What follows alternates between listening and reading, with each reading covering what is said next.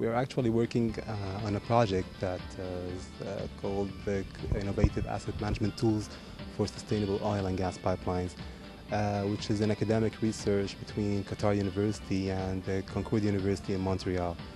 Uh, the pro project aims actually at uh, assess the condition of the existing oil and gas pipelines in Qatar specifically and in the surrounding Gulf regions, actually in Dubai and uh, I mean in the Emirates and Saudi Arabia and uh, uh, all the Gulf region.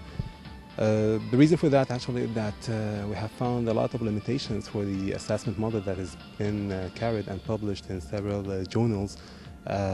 Some of those limitations are, but are not limited to, like the factors that they are taking into consideration in order to assess such pipelines are not enough at all.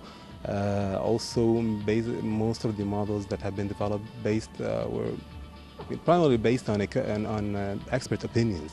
Uh, so there's no any specific scientific uh, methodology that have been followed in order to obtain such a model.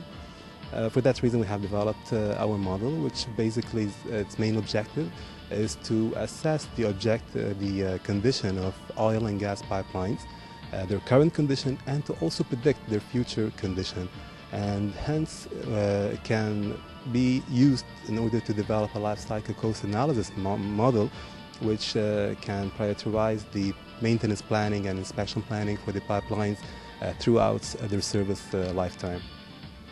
Well, everything was great. I have attended several conferences before in Qatar and in the US and in Canada. Uh, I can say that maybe this is ranked the uh, I don't want to give a rank actually. I don't want to put uh, anyone. Most of them were good, but this is one of the actually outstanding I have found. Everything was easy actually.